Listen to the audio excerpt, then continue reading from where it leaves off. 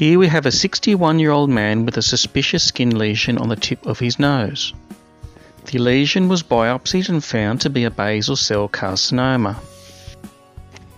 It is interesting to note that the cancer had reduced significantly in size following the biopsy.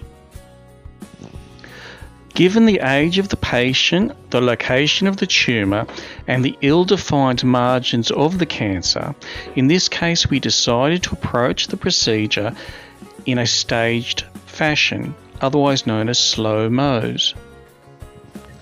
This involves removing the tumour under local anaesthetic and then dressing the wound the specimen is sent for histopathology and the patient returns after the results are through, usually in 48 hours, to repair the wound. If the tumour has been incompletely excised, more skin can be excised when the patient returns and the process repeated as many times as is necessary. It is very important to place an orientating suture into the specimen this will assist in locating any incompletely excised tumour, which is then to be re excised.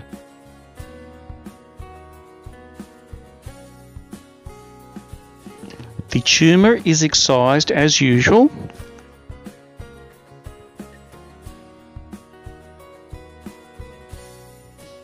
As the wound will not be repaired at this stage, bleeding may become a problem. It is therefore very important to make sure that there is very good hemostasis. This is being achieved here through a combination of cautery and suturing.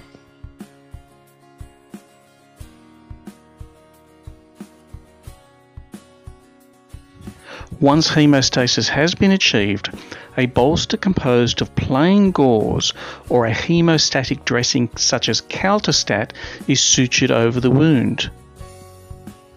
This will further decrease the risk of bleeding. The wound can now be dressed with a firm padded dressing. In this case, histopathology showed that the margins were clear of tumour. The area will now be re-anaesthetised, the bolster will be removed, the sutures placed for hemostasis will be removed, and the wound bed will be cleaned with normal saline. The skin defect is assessed and a repair plan is devised. In this case, we will repair the defect with a standard bilobed flap. The wound has been repaired and the procedure is complete. Thank you very much for watching. If you found this video helpful or if there's an area you'd like covered, then please leave a comment. Thank you.